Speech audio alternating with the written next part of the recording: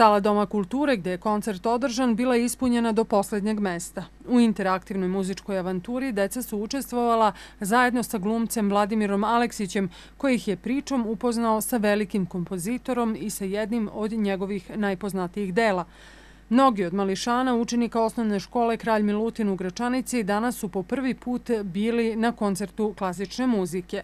Ja do sada nikad nisam bila na ovim koncertima. Slušala sam na časovima. Mnogo mi se sviđala ova kompozicija uh, Antonijeva Broda. Uh, bilo je mnogo lepo i prijela mi je.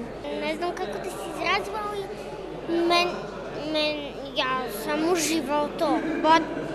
Mnogo mi se sviđalo. Do sada nisam imala prilike da slušam ovaj koncert, a stvarno je bilo lepo. I koje se tebi najviše e, godišnje dobe dopalo? E, proleće. Sve su bili dobre, ali proleće mi je nekako najviše stavilo utisak.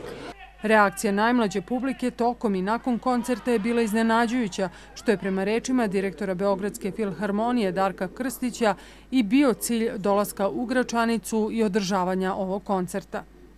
Stvarno reakcija dece je bila odlična jer to jeste bila ideja da je vide interakcija između glumca i dece. Videli ste i sami da je bilo fenomenalno. Članovi Beogradske filharmonije kažu da je cilj da se preko dečijeg programa edukuju i odrasli. Glumac Vladimir Aleksić kazuje na konferenciji za štampu pred koncert da se publici nudi nešto više od folk muzike da bi ona to rado prihvatila.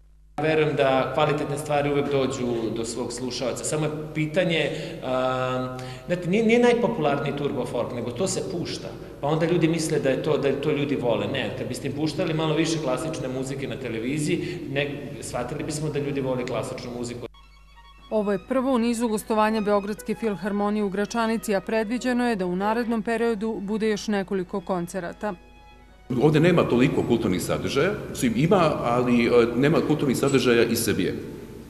Znači, i e, stanovište je da treba e, maksimalno ustanove kulture, pogotovo iz Beograda, gde su najmnogobrojnije, da dolaze i ovde i da se ljudi malo ono, i dignu, što kažu u tom smislu, da počnu dolaze na koncerte Gostovanje Beogradske filharmonije omogućili su Ministarstvo kulture, Dom kulture u Gračanici, Prištinsko narodno pozorište i opština Gračanica. Mala sezona Beogradske filharmonije u Gračanici, e, verovatno najznačajniji događaj iz kulture koji nam se događa i koji će nam se događati e, u ovom periodu. Nenad Todorović, direktor Narodnog pozorišta Priština sa sedištem u Gračanici, najavio je da će u narednom periodu ovde gostovati i Bitev teatar, kao i Narodno pozorište iz Beograda sa svojim predstavama. Prištinsko Narodno pozorište će takođe tokom ovog leta imati nekoliko premijera.